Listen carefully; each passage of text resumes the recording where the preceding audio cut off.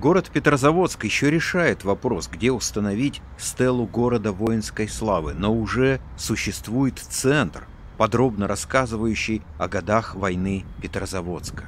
Центр воинской славы города Петрозаводска существует, он, как, он не имеет статус музея, но в нем вы уже можете прийти и увидеть вот будни войны, будни этих трех лет защиты города Петрозаводска, будни семи лагерей города Петрозаводска. И это все есть в центре воинской славы. Мы сейчас беседуем с Елизаветой Владимировной Васильевой. Она возглавляет центр, да? Я правильно понимаю? Да, руководитель вот На...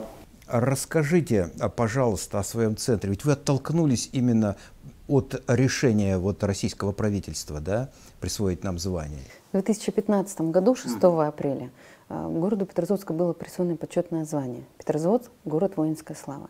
И у нашего фонда, благотворительного фонда «Основа» Сергея Пирожникова, у Ирины Юрьевны Мирошник, э, Геннадия Павловича Бондарчука возникла такая идея – сделать в городе такой центр, где мы могли бы рассказывать жителям, школьникам, туристам, всем желающим о тех военных, исторических, правильных событиях, которые и повлияло на то, что город стал городом воинской славы. Вот а, акцентирую внимание. Одно дело, что решили, другое дело сделали. Я к стыду своему первый раз пришел сюда, я просто в шоке, вот таком хорошем, патриотическом шоке от того, что я вот здесь вижу. Настолько подробно, деликатно и точно показаны и события войны, такая тщательность коллекционеров, художников, которые здесь подошли ко всему этому подбору. Вы вот это э, видите.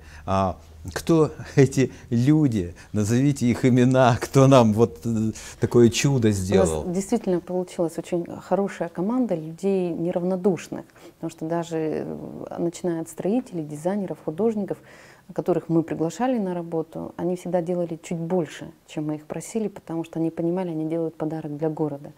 А Коллекция, которая здесь вещей, представлена частного коллекционера Валерия Николаевича Лазарева. Это, конечно, богатейшая, правильная, оригинальная коллекция. И благодаря этой коллекции мы можем такие многие вещи показывать в панорамном виде. У нас работали гример, да, это Светлана Прохорова, художница, все стены расписаны ею лично и одной, это Жанна Сверидникова. Э, организация нам очень помогла, это наши поисковики эстафеты поколения, Александр Вильевич Анишин, Илья Герасев.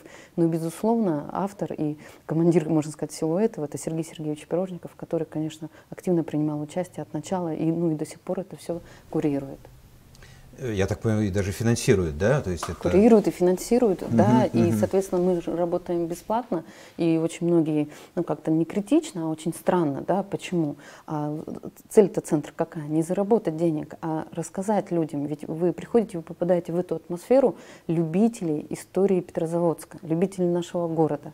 И здесь э, у нас и создана и библиотека, где мы собрали книги по Петрозаводску, и школьники, студенты могут приходить, использовать это в качестве своей там, ну, какой-то работы. Поэтому здесь, конечно, вот очень важно понимать, что наш центр это не ну, не театр кукол там в плане того, чтобы прийти посмотреть, а это действительно очень такое полупатриотическое, правильное место, где мы рассказываем про наш любимый город. На всякий случай, для напоминания, где он находится, выбрано потрясающее место. Это торец нашей мэрии, выходящий на а, проспект Ленина. Здесь раньше было кафе «Парижанка». Вам повезло, они как раз ушли отсюда, да? Вы вовремя заняли эту точку, потому что точка изумительная для такого центра. Вот, всегда можно привести своих детей, проходя вот к набережной. А, спасибо вам за вашу работу. Спасибо. Спасибо, что пришли.